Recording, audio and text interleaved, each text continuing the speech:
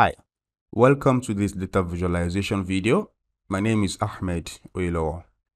In this video, I want to show you how you can pre-assign colors to categories that you have within your visual. So for example, now we want to pre-assign different colors to each of these categories for whatever reason we may have.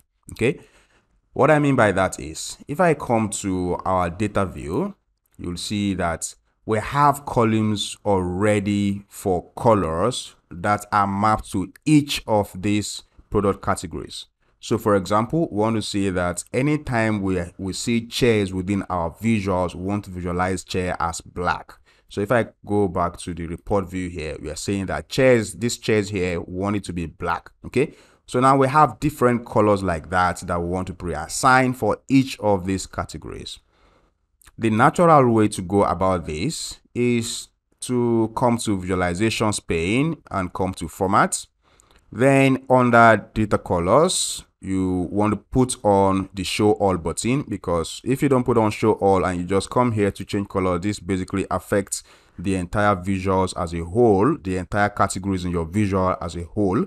Now we want to apply different colors to each one. So you need to uh, put on the toggle for show all then we can now start assigning different colors to each one like that right? And this can be a very uh, tedious procedure to go through especially if you have a lot of categories that has pre-assigned colors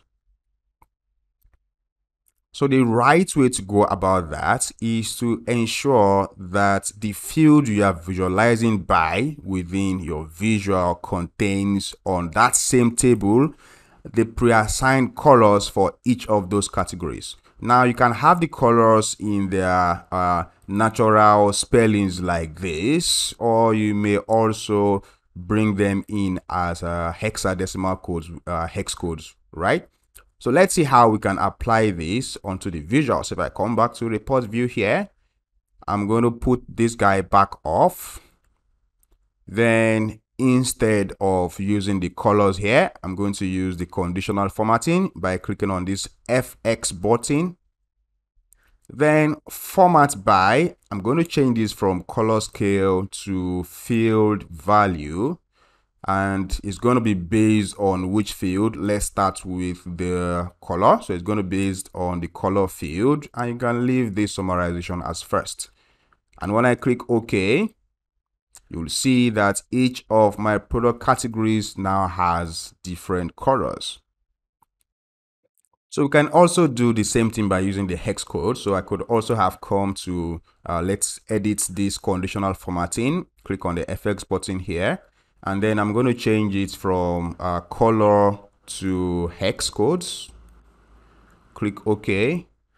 You'll see that the result still remains the same thing.